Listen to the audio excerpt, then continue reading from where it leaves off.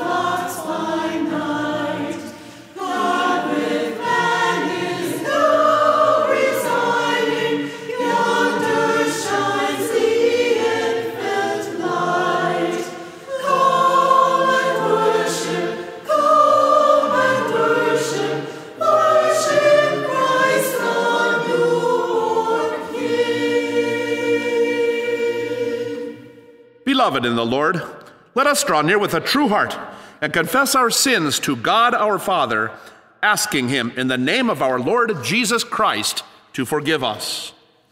Holy and merciful Father, I confess that I am by nature sinful, and that I have disobeyed you in my thoughts, words, and actions.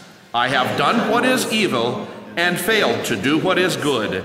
For this I deserve your punishment, both now and in eternity. But I am truly sorry for my sins, and trusting in my Savior Jesus Christ, I pray, Lord, have mercy on me, a sinner. Lord,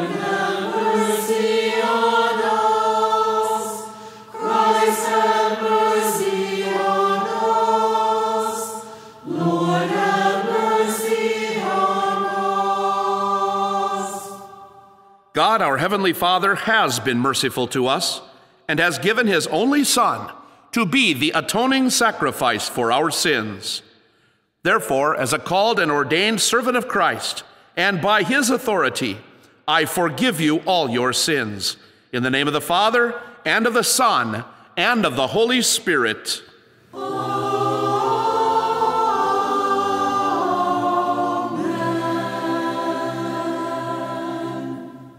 Listen now to God's holy word as he inspired the Old Testament prophet Micah to write for us in chapter 5, beginning with verse 2.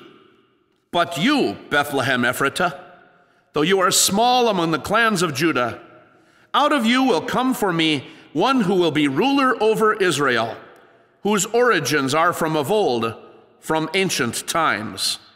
Therefore, Israel will be abandoned until the time when she who is in labor gives birth, and the rest of his brothers return to join the Israelites. He will stand and shepherd his flock in the strength of the Lord, in the majesty of the name of the Lord his God, and they will live securely. For then his greatness will reach to the ends of the earth, and he will be their peace. This is the word of our Lord. Thanks be to God. Our second lesson was inspired by the Holy Spirit to be written in Hebrews chapter 2, beginning with the 10th verse. In bringing many sons to glory, it was fitting that God, for whom and through whom everything exists, should make the author of their salvation perfect through suffering. Both the one who makes men holy and those who are made holy are of the same family. So Jesus is not ashamed to call them brothers. He says, I will declare your name to my brothers. In the presence of the congregation, I will sing your praises. And again, I will put my trust in him. And again, he says, Here am I, and the children God has given me. Since the children have flesh and blood, he too shared in their humanity, so that by his death he might destroy him who holds the power of death, that is, the devil, and free those who all their lives were held in slavery by their fear of death. For surely it is not angels he helps, but Abraham's descendants. For this reason he had to be made like his brothers in every way, in order that he might become a merciful and faithful high priest in service to God, and that he might make atonement for the sins of the people. Because he himself suffered when he was tempted, he is able to help those who are being tempted. This is the word of our Lord. Thanks be to God. Our gospel lesson will serve as the text for Pastor Zarling's sermon today. It is written by St. John in chapter 1, beginning with verse 14.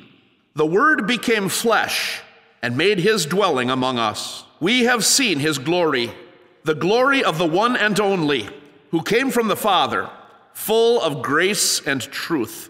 John testifies concerning him.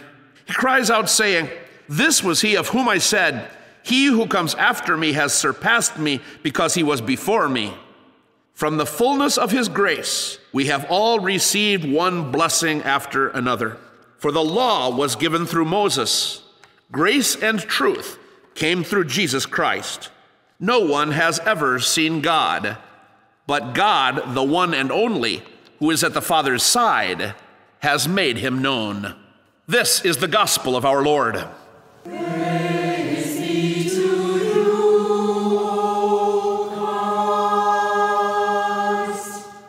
Let us join in confessing our Christian faith using the words of the Apostles' Creed. I believe in God the Father Almighty, maker of heaven and earth.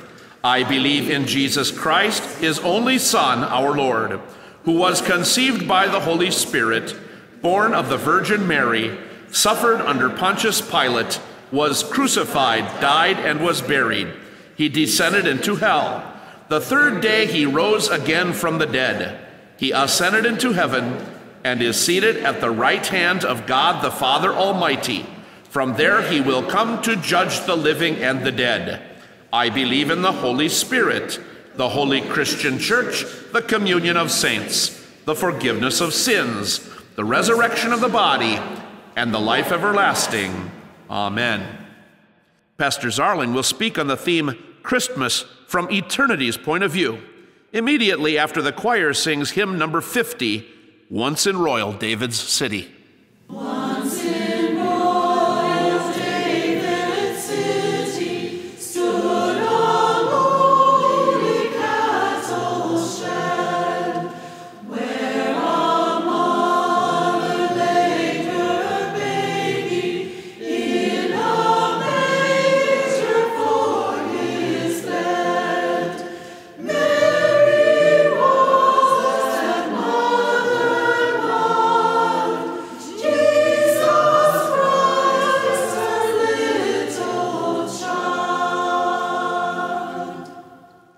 Grace and peace to you from God our Father and the Lord Jesus Christ, who gave himself for our sins to rescue us from the present evil age, according to the will of our God and Father, to whom be glory forever and ever.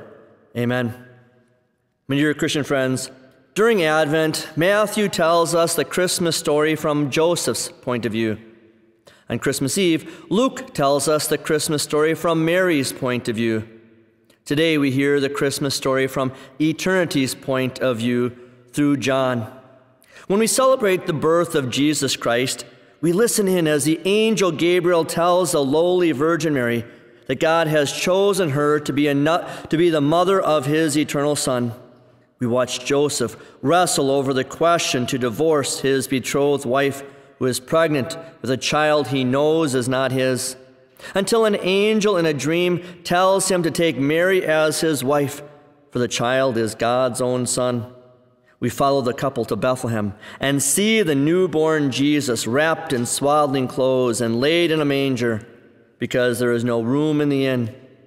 We hear about angels, shepherds, and wise men, but the Gospel of John shows us Christ's birth from a different point of view.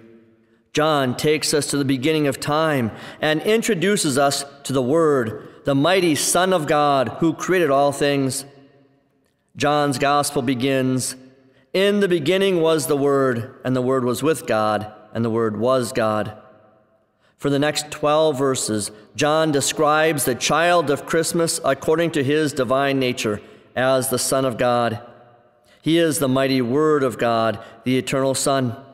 Everything in heaven and earth was created through him. He is the light of men. Now, as John reaches the pivotal moment in all of human history, he tells us in verse 14 the Word became flesh. In that great, unfathomable mystery, Jesus takes our human nature into his divinity. He is conceived by the power of the Holy Spirit and the womb of the Virgin Mary. That is the mystery of Christmas, the majesty of God's gracious plan to save us from our sin. God's Son became human just like us. As a human, he could place himself under God's law and earn our place in heaven by his perfect life. As a human, he could take our place under God's wrath, suffering and dying for our sins and disobedience. Being God, his shed blood was able to pay for the sins of the whole world. Being God, he could and did defeat Satan, sin, and hell for all of us. Being both the Son of God and the Son of Man, through faith in this God man, we are adopted as God's sons and daughters. John continues, and the Word made his dwelling among us. Jesus' birth in Bethlehem was not the first time he dwelt among us in our world.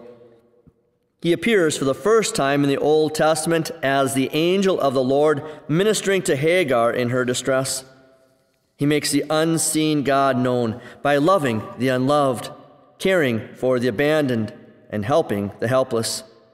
He appears to Moses in the burning bush to give him direction in his life as the chosen leader of God's chosen people.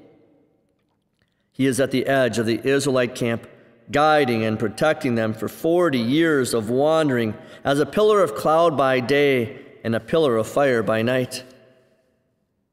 But now this will be how Jesus appears for all eternity as both God and man. He ascended into heaven and is seated at the right hand of the Father. As God and man, he will come again in glory to judge the living and the dead, as we confess in the Nicene Creed. Verse 14 continues We have seen his glory, the glory of the one and only, who came from the Father, full of grace and truth. How would you like to lift up your eyes any time of day or night and look upon the glory of God? The Israelites who left Egypt enjoyed that privilege for 40 years. The Lord revealed his glory in the pillar that led them across the wilderness to the promised land. By day it was a pillar of cloud, by night, a pillar of fire. On that first Christmas, God's glory shone briefly around the shepherds in the fields outside Bethlehem. But when they ran into the little town, they saw nothing special. Just an ordinary looking baby who was wrapped in swaddling cloths and lying in a manger.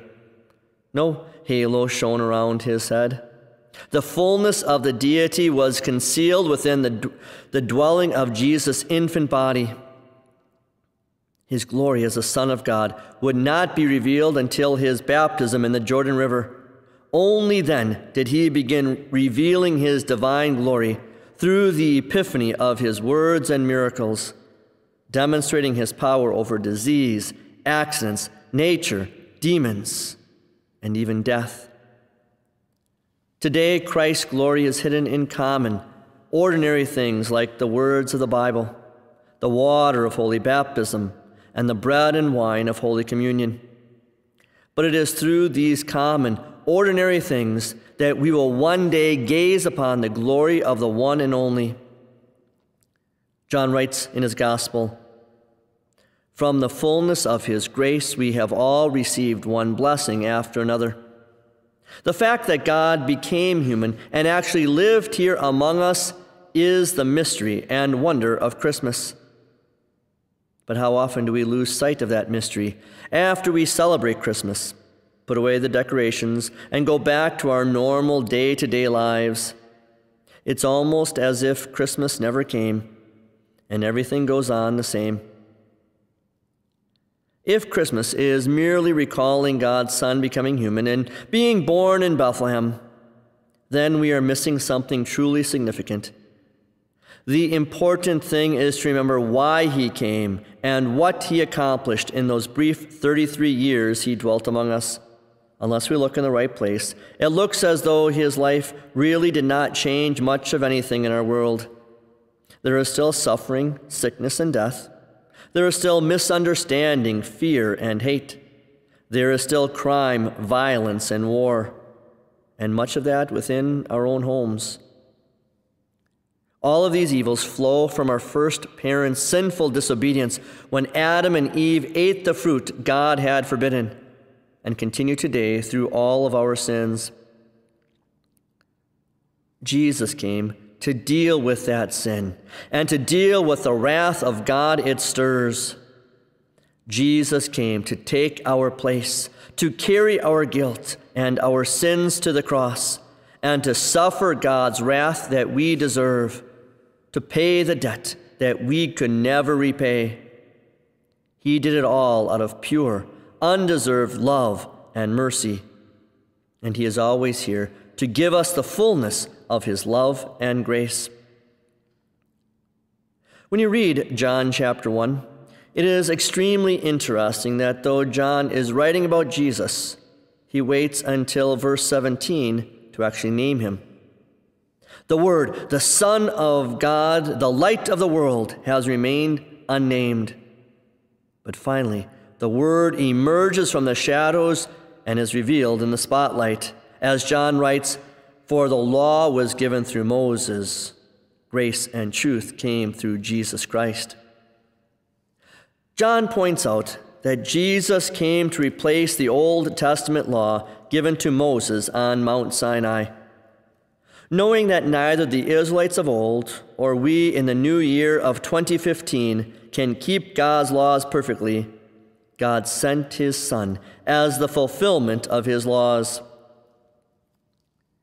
As great as Moses was, he was merely the instrument through which God gave his people the knowledge of his laws. Jesus, the babe of Bethlehem, was different.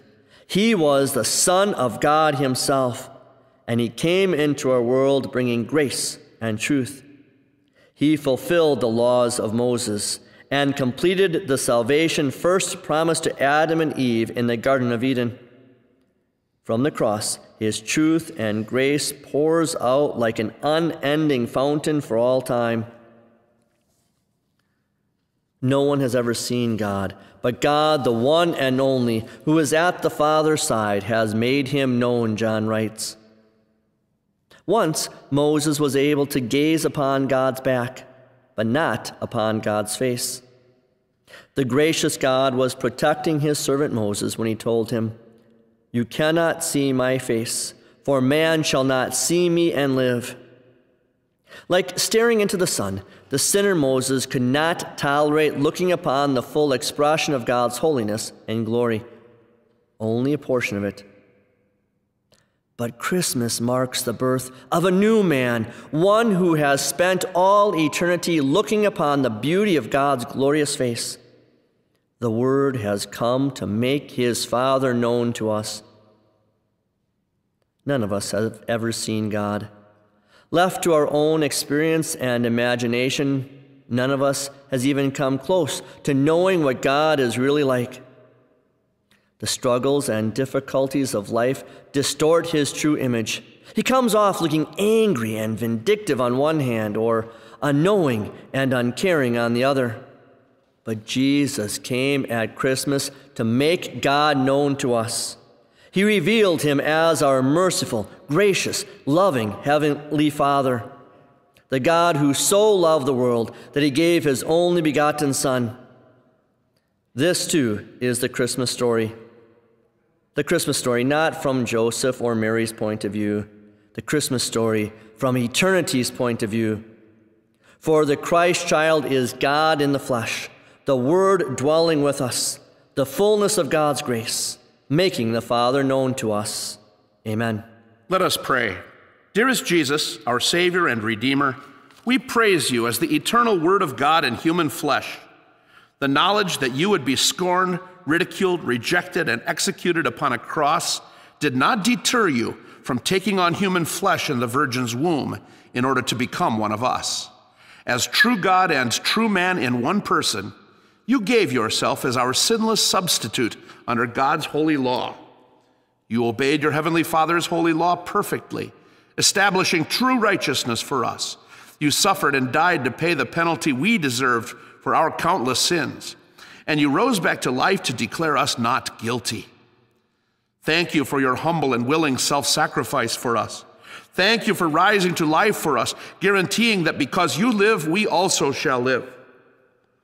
Lord Jesus, in this new year, give us your grace and strength to avoid sin and to live righteous lives. May your Holy Spirit fill us with love and humility to serve you with thankful and willing hearts.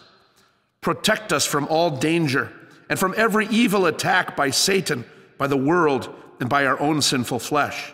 And keep us safe and secure in the palms of your almighty hands, now and forever. Hear these petitions and all of our prayers for the sake of your holy name. Amen. And together we pray the prayer that our Savior has taught us Our Father in heaven, hallowed be your name. Your kingdom come, your will be done on earth as in heaven. Give us today our daily bread. Forgive us our sins as we forgive those who sin against us. Lead us not into temptation, but deliver us from evil. For the kingdom, the power, and the glory are yours, now and forever. Amen. The grace of our Lord Jesus Christ and the love of God and the fellowship of the Holy Spirit be with you all. Amen. The Lutheran Radio Committee is pleased to offer you a copy of today's sermon by Pastor Zarling. If you would like a free copy, If you'd like a free gift, or if you'd like to keep hearing our messages week after week, please write to us. And if possible, please send a tax deductible contribution to the Lutheran Radio Committee, Box 501, Brookfield, Wisconsin 53008. That's Lutheran Radio Committee, Box 501, Brookfield, Wisconsin 53008. We'd love to have you check out our website at www.lrcsonline.org. That's lrcsonline.org. You have been listening to the Lutheran Radio Church service coming from the chapel at Wisconsin Lutheran College. Your liturgist was Pastor David Peters. The Lutheran Radio Choir will now close by singing hymn number 72, O Lord our Father, thanks and praise. May our triune God be with you and yours throughout this new year.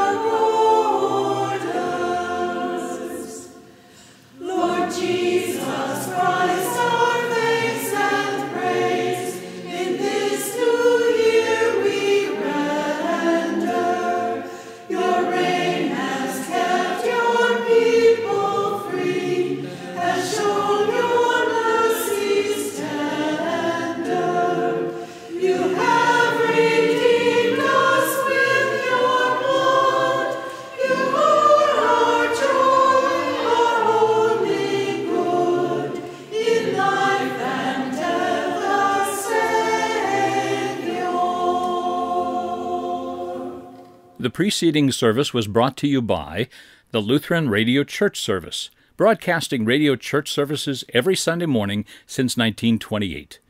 You may request a copy of this morning's sermon. Please pray for this important ministry. This program has always relied heavily on your financial gifts to produce and present these broadcasts. Recently, we've fallen on challenging financial times. Although we've been blessed with your monetary gifts, we need to continue to receive $400 per week from you, our listeners, to allow our ministry to continue. Please prayerfully consider donating any amount the Lord enables you to give to this Christ centered gospel ministry. Please mail your gift to the Lutheran Radio Church Service, Box 501, Brookfield, Wisconsin 53008. Thank you for your generous support of the Lutheran Radio Church Service, and may God bless your day.